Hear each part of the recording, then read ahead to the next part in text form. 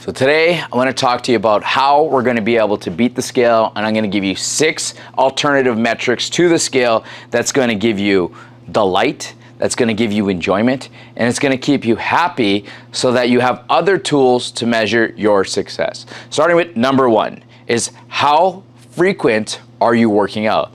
So what I need you to do is to keep track of how many workouts you completed in a month.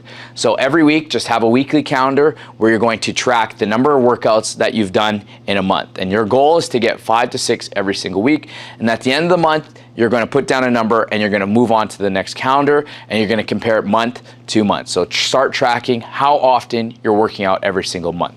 Number two is food tracking. So what you need to do is note the number of days you've tracked your food intake, not just during a challenge, but also during the rest of the course of the year. So your goal is to, in MyFitnessPal, it actually shows how many days you've been tracking your food. So enter your food in every single day and just see if you can get a full year in.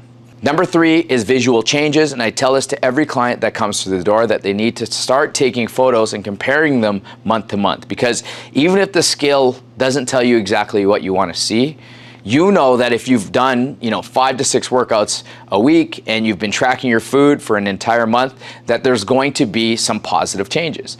And those positive changes might not reflect on the scale, but honestly, if you compare day one to day 30, you're going to see some visual change. You don't have to share it with the world, you can keep it with yourself, but honestly, if you put it side by side, I believe that you're going to be extremely happy.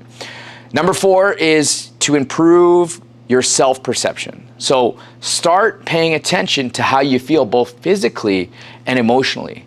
Notice if you have more energy during the day, maybe you've gotten stronger. How's your mood? Maybe you're snapping less. Or are you getting better sleep? Because these positive changes indicate progress regardless of what the scale says.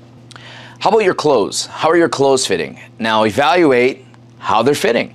Are they looser or are they more comfortable?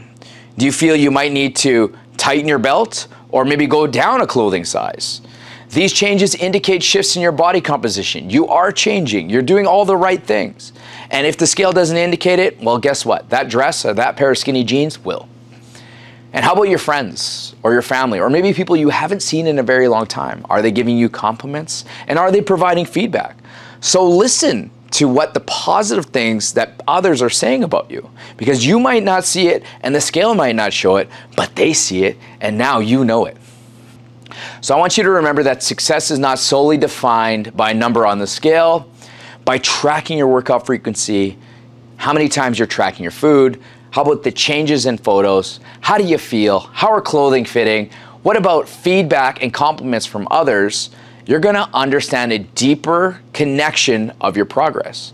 So what I want you to do is embrace these alternative measures of success and celebrate the positive transformations happening in your body and your overall being.